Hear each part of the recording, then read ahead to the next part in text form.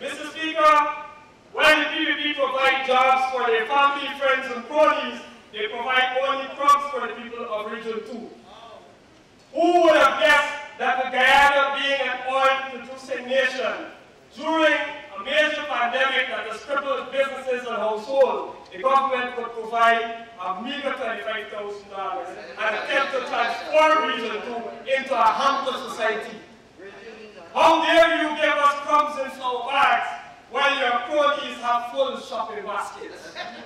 Mr. Speaker, I close by saying to this nation that this budget, this very budget, is not a plan for prosperity, but instead it is their plan to punish me